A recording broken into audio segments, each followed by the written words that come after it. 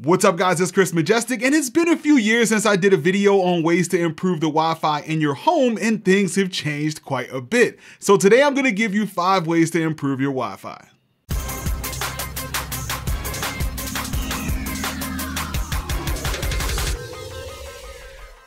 Today's video is sponsored by HelloFresh. Now, if you're anything like me, you've probably been ordering a lot of takeout with all that's been going on. Well, after eating a bunch of unhealthy junk food, HelloFresh came to the rescue so I could make some healthy and delicious meals. So if you've never heard of HelloFresh, it's America's most popular meal kit. They offer 50 different menu items for you to choose from each week, including vegetarian, low calorie, and pescatarian options. And it's not just limited to dinner. They have breakfast, desserts, and even seasonal snacks like holiday cheese and cookies. So once you pick a plan, they send out all the ingredients straight to your door. Now, I'll be honest and tell you that I'm nobody's chef in the kitchen, but the step by step instructions were perfect for people like me. The process was really easy, and since the ingredients are pre portioned, it's great for families so you don't end up wasting food. So I put on my Chef Majestic hat and cooked up some miso apricot chicken, which is probably the healthiest meal I've had in ages. The entire experience was amazing and the food was delicious. So to get started with yours, go to HelloFresh.com and use the promo code ChrisMajestic14 for up to 14 15 free meals and 3 free gifts.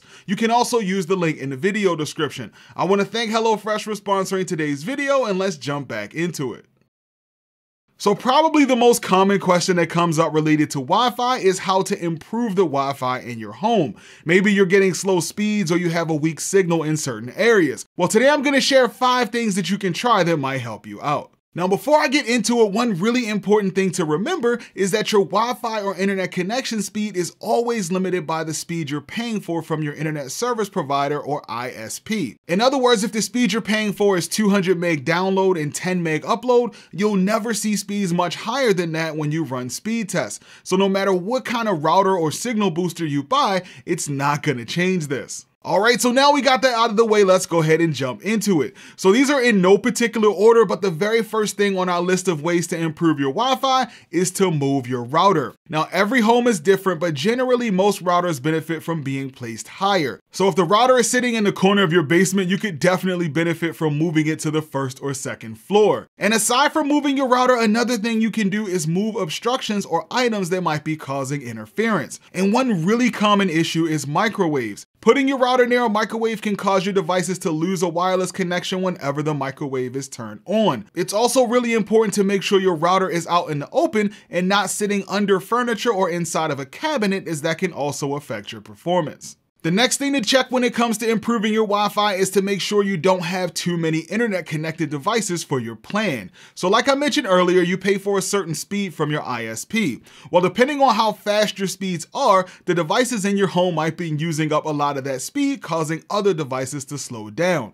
One easy way to test this is to do a wired speed test using a laptop or desktop computer. To do this, you just use an ethernet cable to connect your computer to your router and go to a site like speedtest.net and run a speed test. And if your download speeds are really low, like 10 megs or less, then you may either have too many devices for your plan, you could be overloading your router, or you may have an issue with the connection to your ISP. Most people tend to focus on download speeds and ignore upload, but if your upload speeds are really slow, it can have a major impact on your devices and cause slowness. But if you run a speed test and you get really slow speeds, it's best to talk to your ISP to make sure there isn't an issue with the connection coming into your home. And if they don't find any equipment issues, then you may want to talk to them about upgrading to a faster internet plan. Now, if your wired speed test is good, but your wireless tests are slow, then it's possible that you may have too many devices or too much traffic on your router. To test this, you could try turning off some of your wireless devices that are known to use a lot of data to see if speeds improve. This includes things like smart TVs, video streamers, game consoles, or laptops. And if turning off some of these devices helps, then that may mean your router can't handle these devices and you might benefit from buying a new one. And this brings us to the next option on our list, which is buying a new router. So as I mentioned earlier, slow Wi-Fi speeds can be caused by your router being overloaded. Now, some routers are better than others, and some ISPs do give you a decent router with your service, but if your router is several years old, or if you have more than 20 or 30 wireless devices, then you might benefit from buying a new router. Now, I did a video on this in the past, so I won't go too deep into it, but replacing an older router can certainly improve your wireless speeds since it might have more powerful antennas, it might have more modern features that allow it to handle more devices or prioritize certain devices over others, and it'll likely support newer wireless standards which can greatly improve your speeds and coverage. And this brings us to our fourth option, which is a mesh router, also known as a mesh wireless system. Now, I've done multiple videos on these, but a mesh router is a wireless router that comes with two or more access points. You basically connect the main router to the internet and then you put the other units in other parts of your house where you're having signal issues. Mesh routers have become really popular over the past few years since they're easy to set up and they cover a much larger area. This makes them great for big homes or homes with a lot of dead zones. Now the downside to these systems is that they can be pretty expensive, ranging anywhere from a hundred bucks to over a thousand. And if you're interested in buying one of these, I've done multiple videos comparing the different models over the years, so I'll put some links in the video description where I go over some of the different models so you can see what works best for your budget and your home. And last on our list of ways to improve wireless is a wireless extender, also known as a signal booster. Now, in the past, I've advised people to stay away from wireless extenders, but extenders have improved quite a bit over the years. And if your router is fairly modern and you're having issues getting a signal in a certain part of your house and you don't want to spend a lot of money, then you might benefit from buying one of these. Most of them just plug right into an outlet and you can use an app on your phone to connect it to your existing Wi-Fi and you instantly get much better Wi-Fi in that part of the house. Now this doesn't work perfectly in every situation, but if you're looking for something really simple and cheap, it might work great for you. All right, so that was the fifth item on our list, but I do have a couple of bonus items I want to include.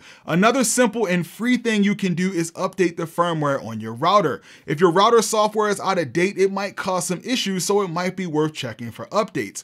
Another thing you can do if you're tech savvy is try switching to a different wireless channel. You can download a Wi-Fi analyzer app on your phone to see which channels are less crowded and try switching to it to see if that helps with some of your issues. Now, of course, this list doesn't include every possible thing you can do to improve the Wi-Fi in your house, but if you do all of the things on this list and you still have issues, then you either live in a mansion or you might live in an underground bunker. But hopefully this video helped you out. If it did, go ahead and make sure you mash that like button for me, and don't forget to subscribe to the channel if you haven't already and hit that bell notification so you get notified whenever I post new videos.